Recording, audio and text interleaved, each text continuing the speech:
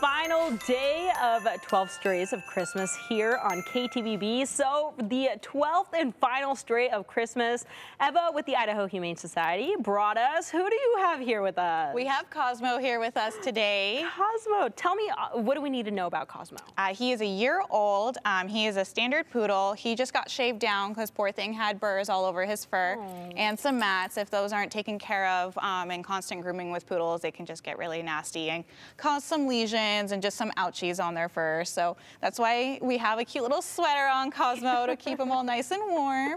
Um, and yeah, he's available now at the bird location. We are open till 7 today. We are closed early tomorrow um, till 3. So from 11 to 3 is when you guys can also check him out tomorrow.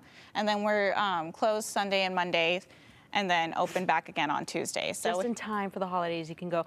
Um, well, tell us what type of family is Cosmo looking for? Um, we don't have a lot of information on uh, Cosmo just because they came in as a stray. So, um, but from what we have found out, is just super friendly, super sweet. It really has a lot of energy to play, um, but just a super friendly family dog. And I mean, one more time, give us the uh, times that people can go pick up a Cosmo. Yeah. yeah, so we're open again until 7, and then tomorrow we'll be open from 11 to 3, um, and then we'll be closed on Sunday and Monday. Perfect.